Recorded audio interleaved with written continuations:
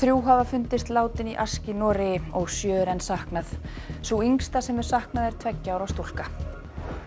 Það er grátlegt að horfa eftir æfistarfinu, segir kona sem hefur byggt upp fornfrækt hús á Seyðisfirði síðustu 20 ár.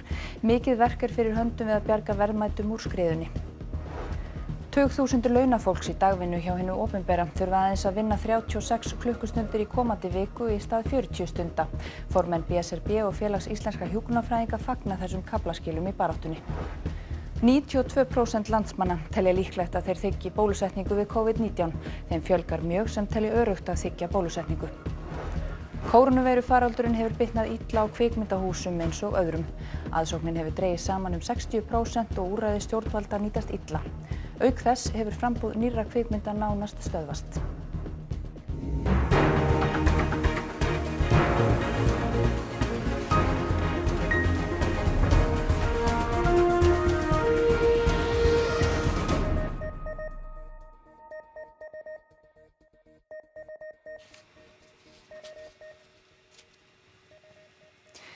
Komið sæl. Líkamsleifar tveggja fundust við leiti í rústunum í Ask í Noregi í dag. Þrjú hafa fundist látin og sjö er enn saknað. Yfir 110.000 normenn búa á svæðum þar sem byggt er á samskonarjarðvegi og fjall og gleifti fjölda húsa fyrir þremur dögum.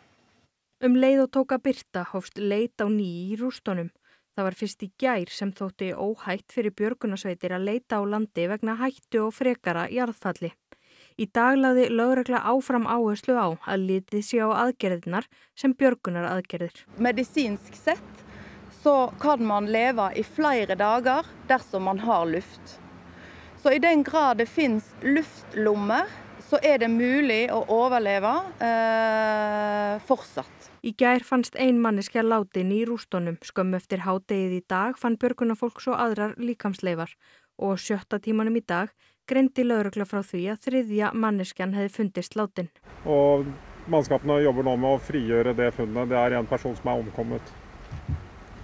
Kjønn, alder og sånn, det er ukjent. Ekki hafa fengist upplýsingar um kyn, aldur eða nöfn hinn að látnu. En í gerðkvöld byrti norska ríkisútvarpið nöfn allara þeirra sem er saknað. Þau eru tíu en talið er að þau sem fundust látin séu á meðal þeirra og því sjö enn saknað.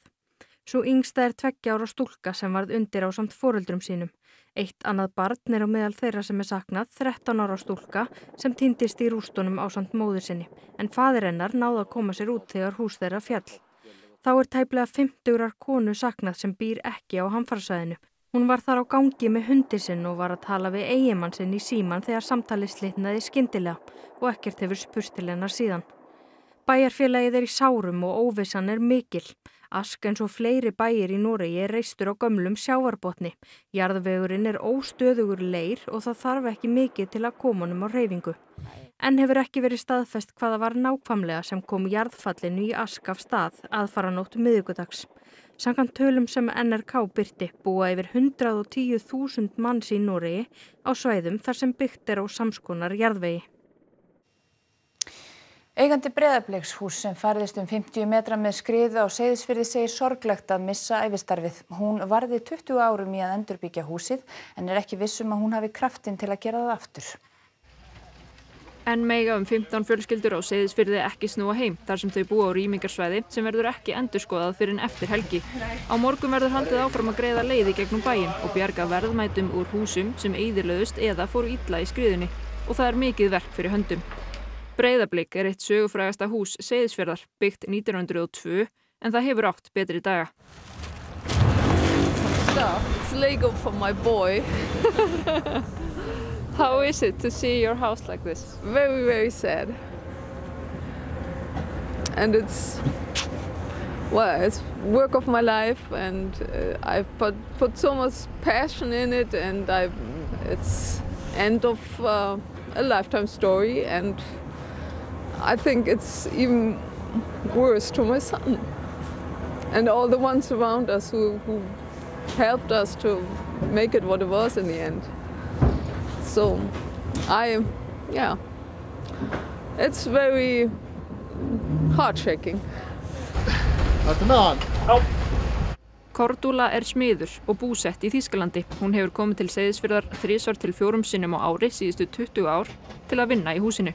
Húsi Breiðarbleik stóð hér en fyrri skriðan, ekki svo stóra, ruttiði hérna yfir göduna 40-50 metra þar til að stoppa þið þarna.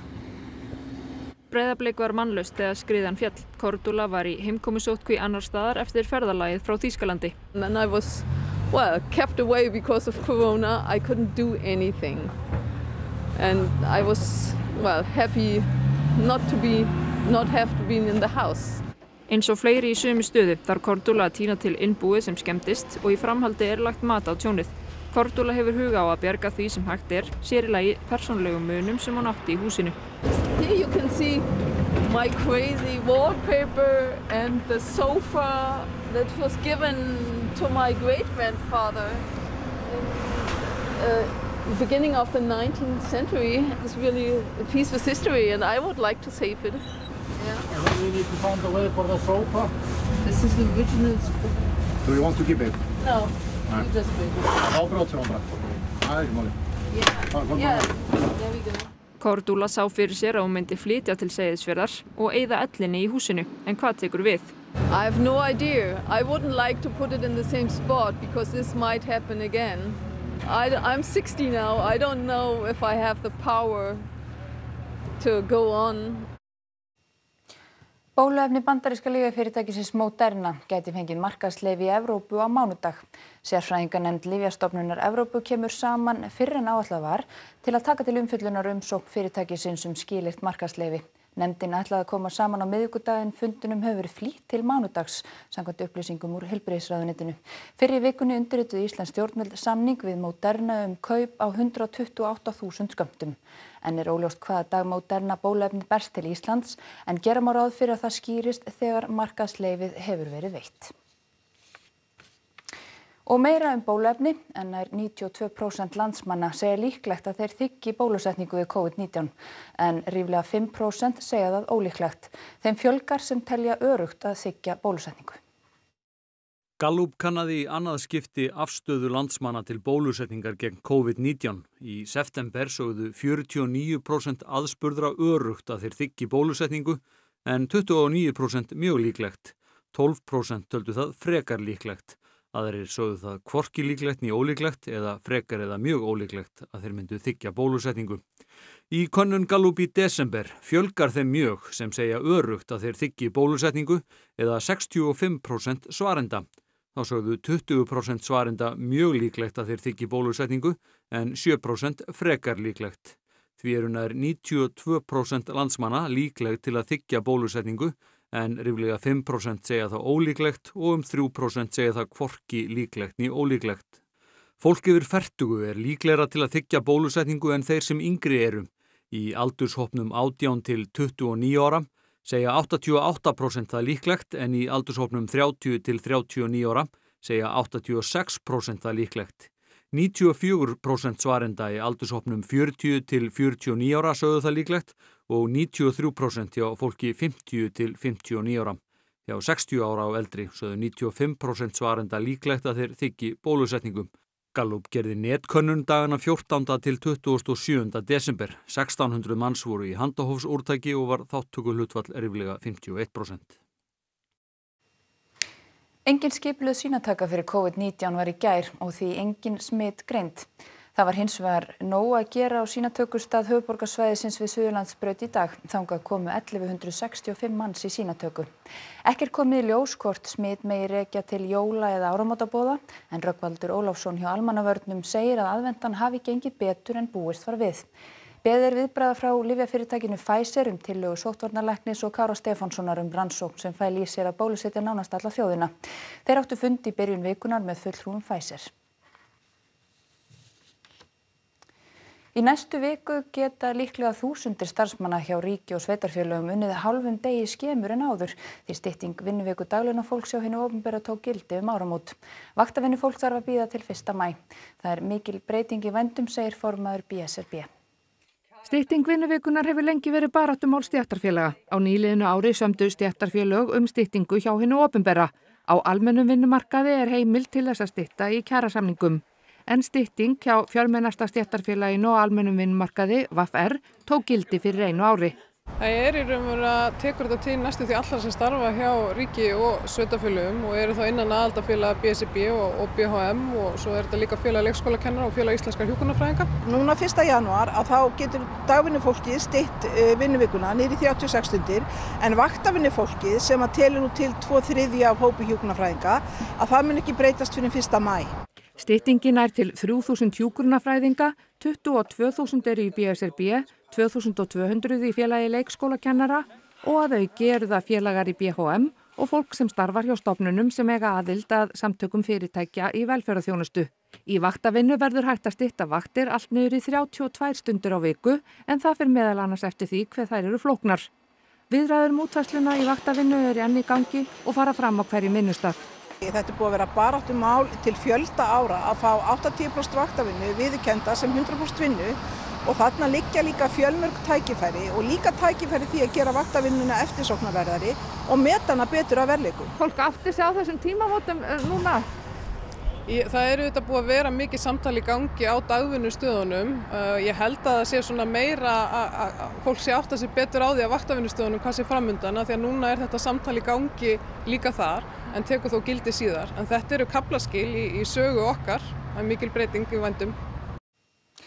Það hefur verið geysileg áskorun að halda við flugvölum Æslandir sem hafa verið í geimslu síðustu mánuði og sinna reglubundnu viðhaldi á öðrum vélum um leið. Þetta segir tæknistjóri viðhaldsviðs Æslandir. Vinnaði að taka flugvölar úr geimslu er hafinn. Stór hluti flugvélaflota Æslandir hefur verið í geimslu að undanförnu en það hefur orðið gríðarlega fækkun á flugferðum í faraldrinum. Nú er hins vegar onnið hörðum höndum að því hér á Keflavíkurflugvelli að dusta ríki af þessum vélum en það sjá mig nú fyrir endan á þessu ástandi. Við skipnum okkur í vikum og mánuðum þannig að já, við erum með vissan hátferðin að horfa fram á vorið en það, það eru marg handök sem er að framkama áður en að þeim tíma kemur. Þannig að þið eruð að fá svona, hvað ég segja, hálfgerða pantanir um að vélar séu klárar í, í vor? Já, það, það, þannig er skiplæð og, og, og við erum byrjað að vinna í því. Ástís Ír Pétursdóttir upplýsingafulltrúi Æslandir segir í samtal við fréttastofu að ferðavilji sé að aukast með jákvæðan fréttum af bóluefni og að félagið finni fyrir miklum áhuga á Íslandi sem áfangastað. En sé þó óvissa framundan enda talsverðar ferðatakmarkanir enn í gildi um allan heim. Félagið sé hins vegar við öllu búið og geti bæði aukið eða dreigið úr flugi eftir því hvernig hlutirnir þróast. 10 af 36 flugulum Æslandir hafa verið í stöðugur í geimslu undanfarna mánuði, auk þess sem fleiri vélar hafa komið og farið úr geimslu. Þetta hefur verið geysileg áskorun að takast á þetta að fást við allar þessar vélar sem hafa þurft að koma í geimslu á jörðinniðri. Á sama tíma hefur við þurft að sinna hefðböndu viðhaldi og vélum jafnvel í rekstri þannig að þetta er, þetta er ansið snúið. Fylgir því mikil vinna að viðhalda vélum sem standa óhreiðar? Já, þetta er eftir því sem að vélinn stendur lengur því meiri vinna þarf að framkvæma. Það er vinna sem þarf að framkvæma á 30 daga fresti, 7 daga, 14, 30, 60 daga, 90 daga og 180 daga fresti þannig að það má segja að það þarf að vinna við vélina nánast á hverjum degi. Hörður segir að þegar vél er tekin úr geimslu far hún í mjög ítarlega skoðun. Þetta er svona, maður okkur oft segja að þetta takir 7 daga að taka vél úr, úr svona geimsluprógrami. Og svo þarf að reynslufljúinni? Já, það þarf að reynslufljú á öllum þessum flugum. Hörður segir að síðustu mánuðir hafi verið mikil púsluspil og mikil áskorun en vona sér til að í kjölfar bólusetninga færist flug áallun í eðlilegra horf. Ég held að við séum eins og aðrir með, með mikla bjarsinn í brjósti við, við þessar fregnir. Aðstöðu flóttafólks hafa versnað mikið í heimsfaraldrinum og leitt til aukinar fátaktar. Efnaðslegar afleðingar hafa sitt að segja og vetrakuldin bætir gráu ofan á svart. Í nýri úttækt Alþjóðabankans og flóttamannastofnunar saminuði þjóðana kemur fram að næri 5 miljónir flóttamanna í Jórdaníu, Líbanon og Írak hafa fallið undir fátakramörk í faraldrinum. وجي كانت قبل كان جمعية خفيفة وهلا من بلشت كورونا صارت جمعية خفيفة كثير Abdel flúði með fjölskyldur sinni frá Sýrlandi til Líbanons en þau mæta nú annars konar áskorunum en hrækti þau á flótta frá heimalandinu. الحز عم نحارب يعني يعني صارت حرب مثل تقولين يعني الجوع هذا هو اللي يقتل الإنسان يعني وضع الجوع وشلون ولادي جوعانين وشلون إحنا جوعانين يعني يعني مأساة كبيرة. Og aðstæður á þessum tíma árs eru síst til þess að bæta ástandið. ما توشكن الشمس ابدا الشتاء وصل على الأبواب.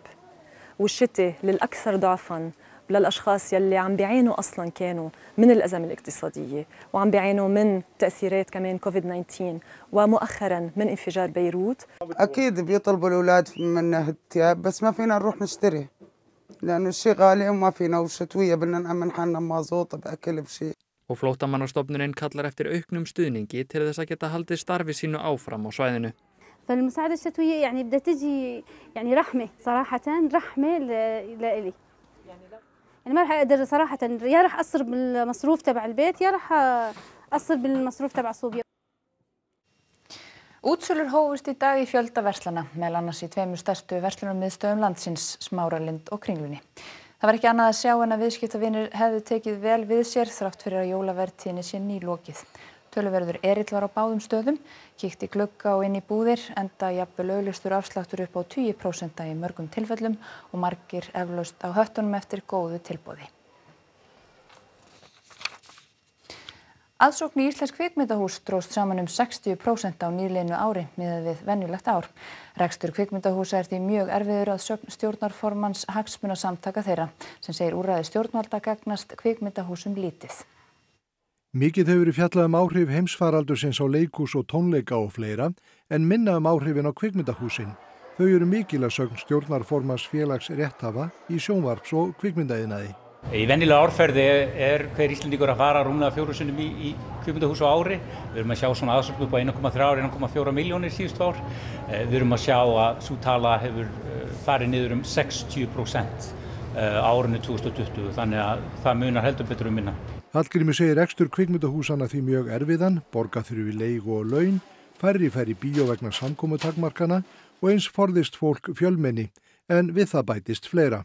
Það eru enga kvikmyndir í raunin að koma út því að ef, fram, framleiðandi er búin að fjárfesta kannski 100 miljón dollara í kvikmynd þá vil hann ekki setja hann í kvikmyndhús þegar að fáir eða í sumum löndum engir komast í kvikmyndhúsi. Þannig að, að fáar myndir að koma, nánast engar, þannig að kvikmyndahúsin hafa þurft að uh, grípi þar á til dæmis að endur sína gamla myndir, eldri myndir til að halda sig gangandi. Að sögn Hallgríms hafa kvikmyndahúsin líti geta nýst sér úrræði stjórnvalda, ekki segt að segjum lókunastyrk því þeim var ekki gert að loka en sættu takmarkunum og hlutabótalegin nýtist lítið því oft séu starfsmenninni námsmenn sem vinna með skóla. Fundað hefur verið með mentamálaráþra og vonir bunna við að það skili einhverju. Hallgrímur trúir því að ástandið skáni næsta sumar. Og ég segi næsta sumar því að auðvitað er uppsöfnu þörf. Fólk vil komast í bíó og það eru marga kvikmyndir sem býða eftir þess að komast út. Við getum tekið dæmi James Bond sem átti að koma í apríl í fyrra. Nú er hún sett á apríl á næsta ári. Útkoma nýra mynda sé hins vegar háð því hvernig gengur að bólusetja heimsbyðina. Hús við Brautarholt sem áður hýsti Þórskaffi og síðar baðhúsið gengur nú í endur nýju lífdaga eftir að hafa verið niður nýslu árum saman. Þar stendur til að útbúa fjölmarkar íbúðir. Húsið sem stendur við Brautarholt 18 til 20 er að mörgu leiti sögufrægt. Þar var til margra ára skemmtistæðurinn Þórskaffi sem var einhver vinsalisti skemmtistæður landsins á 8. og 9. áratug síðustu aldar. Sjáumst í Þórskaffi. Árið 1997 var svo líkamsræktarstöðin Baðhúsið opnuð í húsinu og var það rekið þar allt til ásins 2014. Húsnæði hefur staðið aukt upp frá því og hefur það látið mjög á sjá. En nú er að verða breyting þar á því framkvæmdir í húsinu eru hafnar. Við erum að fara að byggja hérna 64 íbúðir, litlar íbúðir og við ætlum að reyna að nýta fermetraplássi eins vel og við getum og, og bara það er það sem við erum að fara í hérna. Þetta hús er í daldið svona slæmu standi í dag er það ekki, búið verið niðurnisli í nokkuð mörg ár. Þetta hús er í hræðulega ástandi og við ætlum að gera það alveg tipp-topp, það er bara þannig. Það muna eilust margir eftir þessari sögufrægu liftu sem hefur verið hér utan á húsinu frá því að elstu menn muna. Hún fær því miður ekki að halda sér en það stendst hún engar byggingareglugerir. Það er fyrirtækið LL09 sem stendur að verkinu en eigendur þess eru upphaf fastegnafélag og fyrirtækið Fastefli EHF sem er eigu Steindórs Snæs og föður hans Ólaf Vaff Steindórssonar.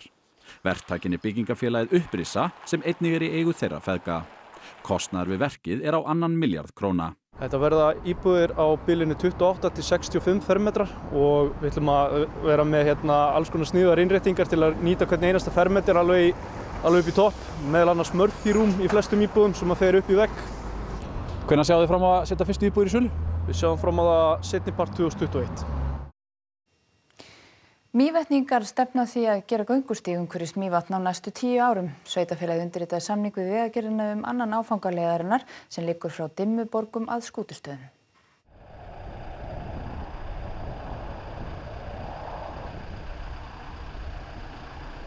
Þetta er fyrst og fremst öryggis sjónamið sem við erum að leggja í þetta. Þetta var hætta og furðulegt af aldrei neitt slís orðið en, en því betur.